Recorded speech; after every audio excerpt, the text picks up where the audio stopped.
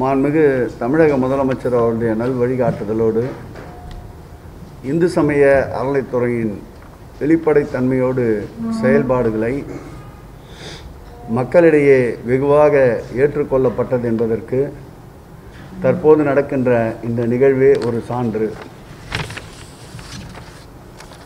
இன்றைக்கு நம்முடைய அருள்மிகு அரங்கநாத சுவாமி திருக்கோயிலுக்கு காரமேடை மேட்டுப்பாளையம் வட்டத்தை சார்ந்த கோவை மாவட்டத்திலே அமைந்திருக்கின்ற இந்த திருக்கோயிலுக்கு தற்போது பாண்டியன் கொடை கொண்டை என்ற கிரீடம் ரூபாய் இருபத்தி ஆறு புள்ளி நாற்பத்தி ரெண்டு லட்சத்திலே இருபத்தி ஆறு புள்ளி நாற்பத்தி ரெண்டாயிரம் ரூபாய் அளவிலே இந்து சமய அறநிலைத்துறைக்கு நன்கொடையாக இன்றைக்கு வழங்கப்பட்டிருக்கின்றது. இதேபோல் சமீபத்தில் நம்முடைய இருக்கங்குடி திருக்கோயிலுக்கு வெள்ளித்தேர் செய்வதற்காக முப்பத்தி ரெண்டு கிலோ எடையுள்ள வெள்ளி நன்கொடையாக வழங்கப்பட்டது. சமீபத்தில் காஞ்சிபுரம் குமரகோட்டம் திருக்கோயிலுக்கு சென்றிருந்த பொழுது அந்த சுப்பிரமணிய சாமி திருக்கோயிலுக்கு மூவாயிரம் சதுரடி கொண்ட சுமார் ரெண்டு கோடி ரூபாய் மதிப்புள்ள இடம் தானப்பத்திரமாக அந்த திருக்கோயிலுக்கு வழங்கப்பட்டது.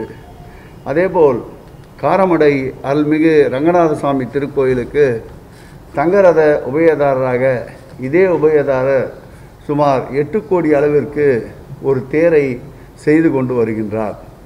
அதோடு மட்டுமில்லாமல் கோவை பிளிச்சி அருள்மிகு காரண விநாயகர் திருக்கோயிலுக்கு சொந்தமாக இடத்திலே அந்த திருக்கோயிலை நிர்மாணிப்பதற்கு சுமார் எண்பது லட்சம் மதிப்புள்ள ஏழு சென்ட் நிலத்தை தானமாக வழங்கியிருக்கின்றார்கள்.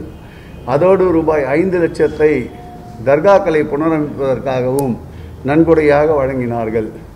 ஜாதி சமயங்களுக்கு அப்பாற்பட்டு மாண்புமிகு தமிழக முதலமைச்சர் அவருடைய ஆட்சியிலே திருக்கோயில்களுக்கு தற்போது ஜமீன்தார் காலங்களைப் போல் நன்கொடைகள் வரப்பெறுவது மகிழ்ச்சி அளிக்கிறது.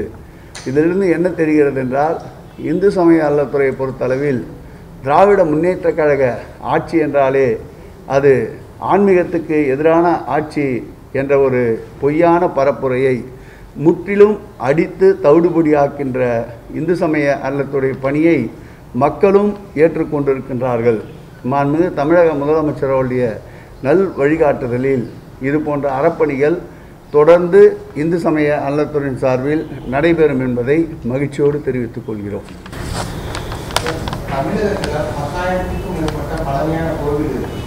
நூறு லட்சம் சிலைகள் இன்னும் பதிவு செய்யப்படாமல் கடத்தப்பட உள்ளதா பொதுமானிகள் சொல்லியிருக்காங்க. அது மட்டும் உங்களுக்கு பார்த்தேன் அவருடைய பேட்டியை நானும் பார்த்தேன். அது குறித்து துறை சார்பிலே முழுமையாக ஆய்வு செய்ய உத்தரவிட்டிருக்கின்றோம். அவரும் கடந்த ஐந்து ஆண்டு காலம் தொடர்ந்து அந்த பணியில் ஈடுபட்டிருந்தார். அவர் இதையெல்லாம் கண்டுபிடிப்பதற்குண்டான முயற்சிகள் எந்தளவு எடுத்தார் என்பது தெரியவில்லை.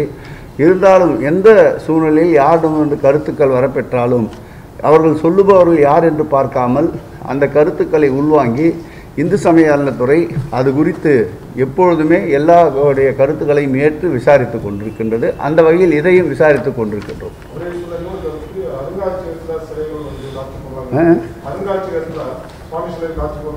புரியல. அப்படி ஏதாவது குறிப்பிட்டு சொன்னால் நிச்சயம் மாண்பு தமிழக முதலமைச்சருடைய கவனத்திற்கு எடுத்து சென்று இந்து சமய துறை அதை மீட்டு எந்த திருக்கோயிலுக்கு சொந்தமானதோ அந்த திருக்கோயில் வசம் ஒப்படைப்பதற்குண்டான முயற்சிகளை மேற்கொள்வோம்.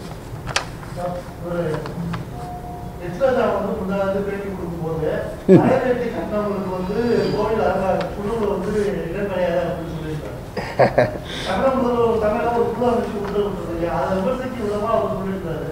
தமிழக முதலமைச்சர் தலைமையில் அமைத்திருக்கின்ற குழுவிலே கரைவேட்டி கட்டியவர்கள் யாரும் இருக்கின்றார்களா? பொறுப்பிலே இருக்கின்றார்களா? அது அவரே பட்டியலிட்டால் நன்றாக இருக்கும். அதேபோல் கரைவேட்டி கட்டியவர்கள் ஆன்மீகவாதிகளாக இருந்தால் அவர்கள் ஏன் அரங்காவலர் குழுவிலே இடம்பெறக்கூடாது? திருப்பணியிலே ஏன் அவர்கள் பங்கேற்கக்கூடாது? தற்போது என் பக்கத்திலே உட்கார்ந்துருக்க இவர் கூட யார் என்னவென்று எனக்கு தெரியாது. திருக்கோயிலுக்கு நன்கொடையாளராக வருகின்ற பொழுது அவரை குறித்து விசாரித்த போது அவர் ஆன்மீகவாதி ஆன்மீகத்தில் நாட்டமுடையவர் என்பதால் இந்த பொருட்களை ஏற்றுக்கொள்கிறோம் அந்த வகையில் ஆன்மீகவாதிகள் எந்த கட்சியில் இருக்கின்றார்கள் என்பது முக்கியம் அல்ல அவர்களால் நியமிக்கப்படுகின்ற அந்த திருக்கோயிலுக்கு எந்த அளவிற்கு நன்மை என்பதை சரிபார்த்து நிச்சயம் கரைவேட்டி கட்டியவர்களாக இருந்தாலும் அவர்கள் ஆன்மீகவாதிகளாகத்தான் இருப்பவர்களைத்தான் இந்து சமய அறத்துறை நியமிக்கும் எங்களுடைய மாண்புமிகு முதலமைச்சர் அவர்களும் அந்த வழியில்தான் எங்களை வழிநடத்தி சென்று கொண்டிருக்கின்றார். சிலர் ஏதாவது ஒரு அரசியல் தளத்திலே தங்களுக்கு ஏதாவது ஒரு விலாசம் வேண்டும் என்பதற்காக எதை எதையோ பேசிக்கொண்டு திரிவதற்கெல்லாம் எங்களுடைய காலத்தையும் நேரத்தையும் நாங்கள் வீணாக்க விரும்பவில்லை.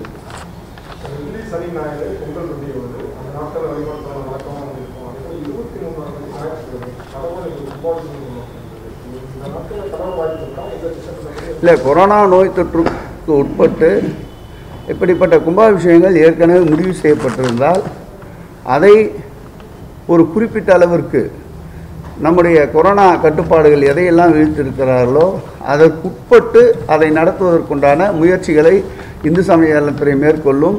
அது குறித்து மாண்பு முதலமைச்சர் அவர்கள் கவனத்திற்கு கொண்டு சென்று அந்த திருப்பணிகள் நடைபெறுவதற்கு தடையில்லாமல் இந்து சமய நலத்துறை பார்த்து கொள்ளும்.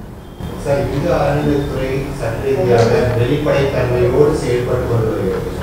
ஆஹ் இன்று காலை தாமரந்த ராமர் கோயில் இடிப்பு அப்படிங்கிற செய்தி சட்ட ரீதியாக இங்கு மக்களுக்கு நிறுத்தப்பட்டால் மாநிலங்களை தாண்டி அதை பார்க்கிற பொழுது ராமர் கோயிலை நிறுத்திவிட்டார்கள். சம்பவங்களை அந்த வீடியோலாம் பார்க்கும்பொழுது கேட்டுக்கிறது இருந்தது என்னுடைய கேள்வி என்னன்னா இப்படி மற்ற மாநிலங்களுக்கு இப்படி தவறான ஒரு கருத்து போகின்ற பொழுது உடைய மனம் எவ்வளவு கண்டப்படுகிறது நிச்சயம். சட்டத்தின் ஆட்சி தான் மாண்புமிகு தமிழக முதலமைச்சர் அவர் தலைமையில் நடைபெறுகின்ற ஆட்சி. சட்டத்திற்கு உட்படுகின்ற எதன் மீதும் நாங்கள் சட்டத்தை மீறி நடவடிக்கைக்கு செல்வதில்லை. திருக்கோயில்கள் அறம் சார்ந்த பணிகள் அத்தனையுமே மக்களுடைய மகிழ்ச்சிக்காக தான் மக்களுடைய வாழ்வாதாரத்துக்காக தான் மக்களுடைய நலனுக்காகத்தான். அரசியலை ஏதாவது ஒரு துறையில் ஏதாவது ஒரு வகையில் மக்களுக்கு செல்லுகின்ற அந்த பொருட்கள் அந்த மக்களுக்கு செல்கின்ற பலன்களில் மானியத்தை ஏன் அரசு வழங்குகிறது என்றால் அந்த மக்கள் வறுமை கோட்டிற்கு இருக்கின்ற மக்கள் அந்த மக்களுடைய பயன்பாடுகளுக்காகத்தான் இப்படிப்பட்ட மானியங்கள் வழங்குகின்றது. அதில் உள்ளர்த்தம் என்னவென்றால் பொதுமக்களுடைய பயன்பாடுகளை மையமாக வைத்துத்தான் இப்படிப்பட்ட திட்டங்கள் தீட்டப்படுகின்றது. அதுபோல் பொதுமக்களுடைய பயன்பாட்டிற்கு குந்தகமாக பொதுமக்களுடைய அன்றாட வாழ்க்கை சூழலுக்கு பிரச்சனையாக இருக்கின்றவன் மீது தான் நடவடிக்கை எடுக்கப்படுமே தவிர சட்டத்திற்குட்பட்டு இருக்கின்ற பொதுமக்கள் பயன்பாட்டிற்கு எந்த விதமான தடையும் இல்லாதன் மீது நிச்சயமானது முதலமைச்சர் அவர்கள் எந்த நடவடிக்கையும் எடுக்க மாட்டார். தற்போது பக்கத்திலே உட்கார்ந்த நண்பர் கூட கோவை பிளிச்சி காரண விநாயகர் திருக்கோயில் கூட அந்த திருக்கோயிலுடைய இடத்தை வேறு இடத்திற்கு மாற்ற வேண்டும் என்பதற்காகத்தான் சுமார் ஏழு சென்ட் இடம் உள்ள எண்பது லட்சம் மதிப்புள்ள அந்த இடத்தை தானமாக வழங்குகின்றார். அதுபோல் திருக்கோயிலுடைய எண்ணிக்கை நிச்சயம் மாண்பு தமிழக முதலமைச்சருடைய ஆட்சி காலத்தில் பெருகுமே தவிர குறையாது. மற்ற மாநிலங்களை பற்றி நாம் கவலைப்பட வேண்டாம். நம்முடைய மாநிலத்தில் நிலை என்ன? இங்கு இருக்கின்ற சூ சீதோஷ நிலை என்ன? இந்த மக்களுடைய பயன்பாடுகள் என்ன? இந்த மக்களுடைய வளர்ச்சிகள் என்ன? அதை நாம் நோக்கி போவோம்.